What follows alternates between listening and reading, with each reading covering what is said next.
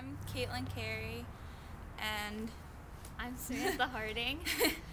and we're in ninth grade at Calverton School in Maryland. Uh, my name is Brandon Greer. I am a ninth grade biology student in Miss Baker's biology class. Um, she has a blog called MissBakersBiologyClass.com and it's also called Extreme Biology. And I would best describe it as an online community of interested students and um, interested people who uh, like to get information from educated and informed uh, adults who have just uh, so much to share with us. So that's that's basically how I would best describe it. When you know you get the opportunity to ask other questions and you learn even more from that because someone else will answer you or maybe the person who wrote it will answer and it's just a really great like learning experience.